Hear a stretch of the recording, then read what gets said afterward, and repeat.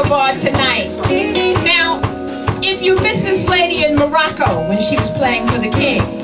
when she was in Istanbul, Turkey,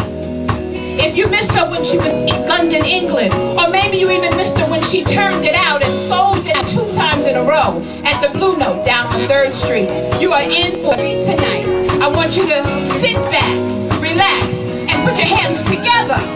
for Miss Just Call My